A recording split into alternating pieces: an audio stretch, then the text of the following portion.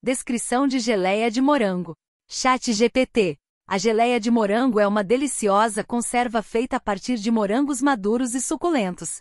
Essa geleia é apreciada em todo o mundo devido ao seu sabor doce e levemente ácido, bem como a sua textura espessa e gelatinosa. A preparação da geleia de morango geralmente envolve os seguintes passos. 1. Seleção dos morangos. Escolha morangos frescos, maduros e de boa qualidade.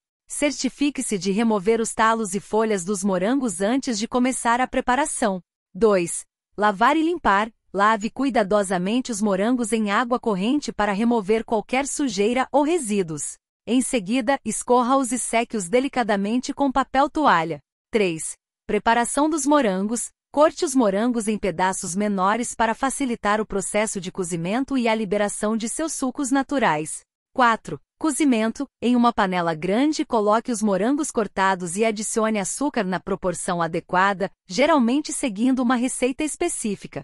Aqueça a mistura em fogo médio, mexendo ocasionalmente para evitar que grude no fundo da panela.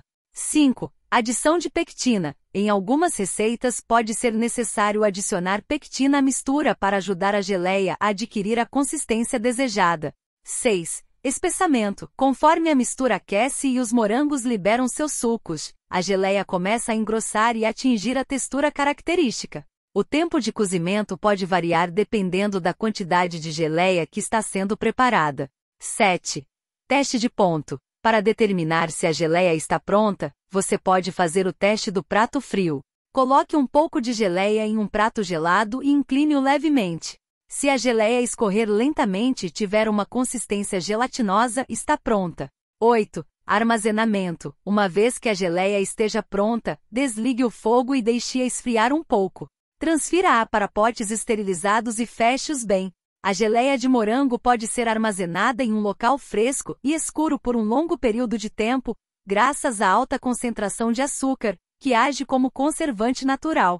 A geleia de morango é versátil e pode ser usada em várias preparações culinárias como pães, bolos, biscoitos, torradas, crepes e muito mais. Seu sabor doce e frutado é apreciado por pessoas de todas as idades, tornando-a uma opção popular para um lanche ou sobremesa deliciosa.